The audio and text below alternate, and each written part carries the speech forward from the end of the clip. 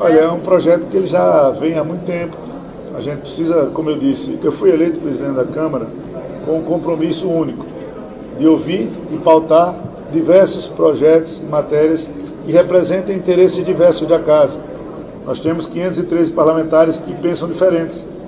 E essa questão da legalização dos jogos no Brasil é uma questão que vem sendo debatida há muito tempo.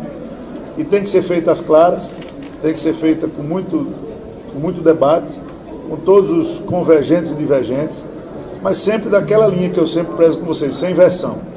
Então, quem defende a legalização vai dizer por quê, quem é contra a legalização vai dizer por quê, e aí nós vamos ter a oportunidade de saber quem quer que o jogo continue sendo ilegal no Brasil como é hoje, por exemplo, que todos sabem que tem cassino, todos sabem que existe bingo, todos sabem que existe caça-níquel, todos sabem que existe bingo, todos sabem que existe apostas virtuais, eletrônicas, que são debitadas em cartão de crédito pagam impostos no exterior, jogo do bicho.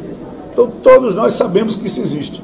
Mas tem que existir na clandestinidade para continuar sem gerar empregos formais no Brasil, sem pagar mais ou menos 20 a 25 bilhões de reais de impostos para o povo brasileiro